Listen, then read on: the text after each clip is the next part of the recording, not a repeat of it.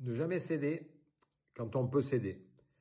Tout au long de ma carrière, j'ai connu des hauts et des bas, des belles et grandes victoires, mais aussi des défaites puisantes. Une histoire en particulier m'a profondément marqué. Après notre victoire en Champions League en 93 contre le fameux Milan AC, on se retrouve relégué en Ligue 2. On passe du paradis à l'enfer en l'espace de quelques mois. Tout le monde aurait pu quitter le navire. Le club aurait pu couler définitivement. Mais au lieu de ça, tout le personnel du club, de l'intendant, des administratifs, des supporters, euh, du staff de, et bien évidemment des joueurs, tout le monde a relevé les manches et tout le monde s'est dit on va pas rester là.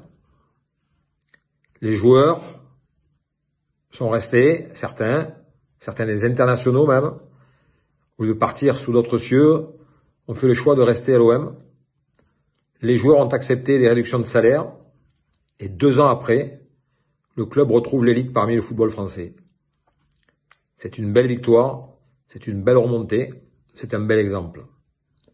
Je pense à une personne en particulier qui était gardienne de but, qui est restée la première année quand on était en Ligue 2 et qui, cinq ans après, est devenu champion du monde. Belle histoire, belle remontée. Voilà, donc au lieu de céder, on peut céder et après même, on devient encore plus fort.